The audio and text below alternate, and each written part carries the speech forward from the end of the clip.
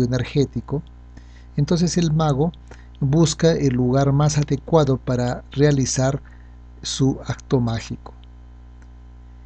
El tiempo tiene que tomarse en cuenta la situación de la Tierra en el tiempo, en su movimiento de rotación, en su movimiento de traslación y la distribución planetaria de los cuerpos celestes, principalmente de la Luna.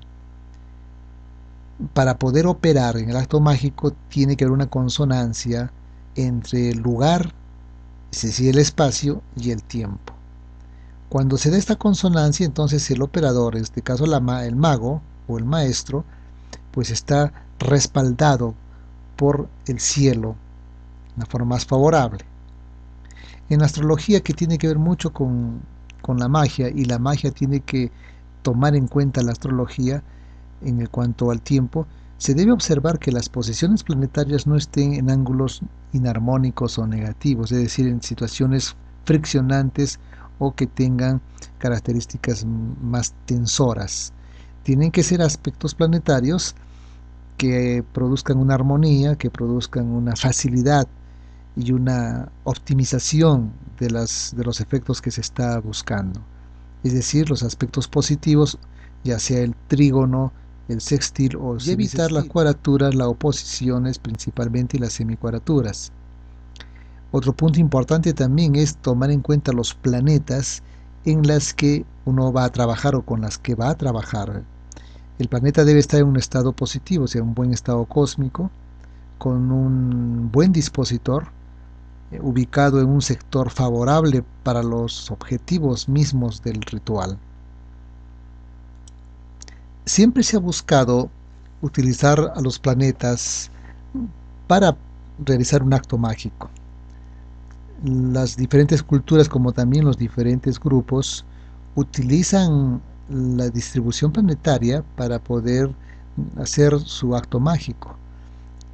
Así, por ejemplo, hay famosos magos que, conocemos a través de sus obras, por ejemplo, Lipas Levi, en su dogma y ritual de la alta magia, tenemos a Papus y otros magos tradicionales que siempre han considerado las posiciones planetarias es decir, a los planetas para poder enrumbar y conseguir un efecto.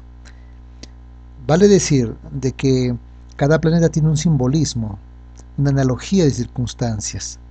Venus, por ejemplo, representa los, sentimientos, el amor, la, recreación, la creatividad, de tal manera que cuando uno quiere realizar eh, un acto mágico dirigido hacia los afectos, el amor, la recreación o la creatividad, pues utiliza Venus, es decir, se contacta con el planeta Venus, no solamente con el planeta que está en el exterior, sino también con el planeta que está en el interior, como un acto volitivo.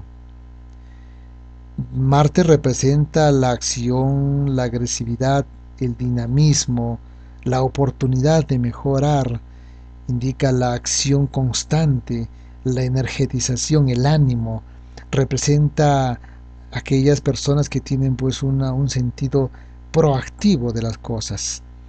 Entonces cuando alguien quiere ah, realizar un acto mágico, un ritual y un rito para poder energetizar a una persona o una situación, para poderle dar victoria a algún aspecto de la vida, o para dar salud, porque Marte es la energía, entonces tiene que conectarse con esta fuerza marciana que está en el cosmos y por resonancia que está en uno mismo. Entonces cuando uno hace un ritual de Marte, tiene que tomar la actitud marciana, es decir, ser enérgico, ser vibrátil y tener un ánimo a todo dar.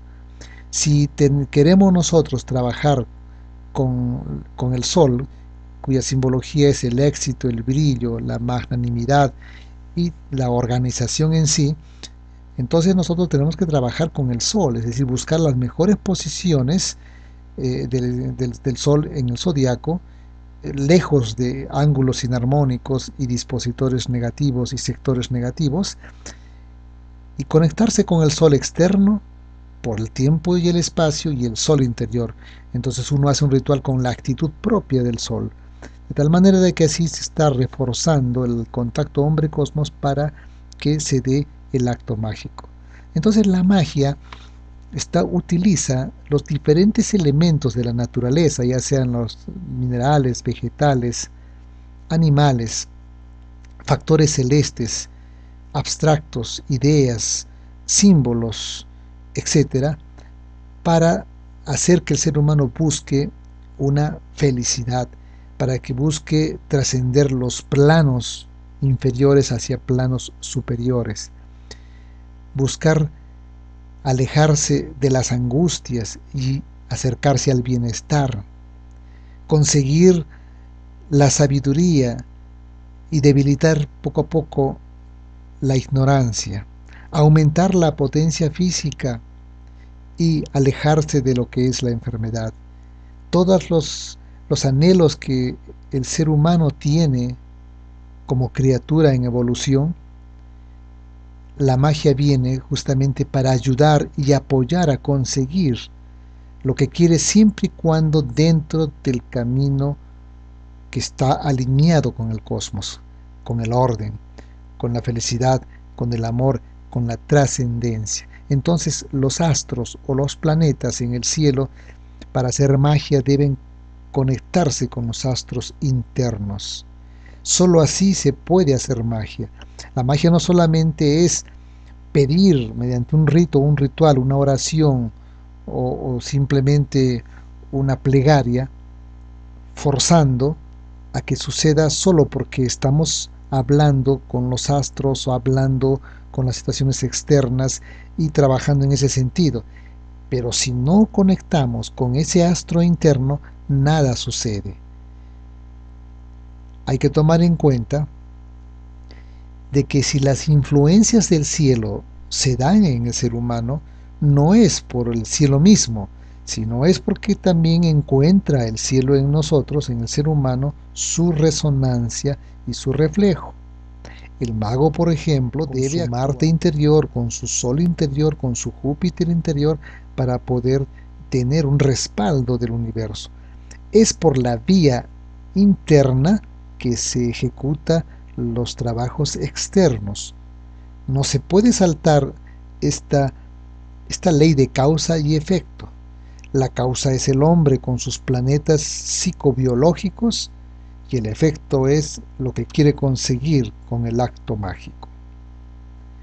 Muchas veces las posibilidades que tiene un, mago, un maestro, en conseguir resultados en el acto mágico, depende muchas veces de la potencia que tiene el operador.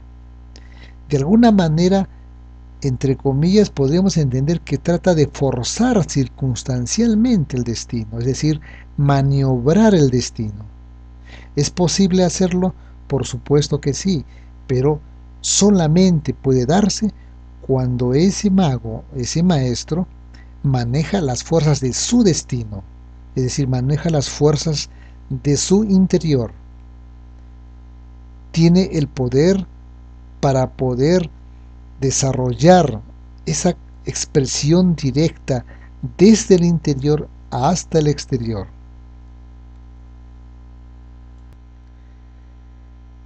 Detrás de toda acción mágica, que es una de las ciencias tradicionales, está la voluntad.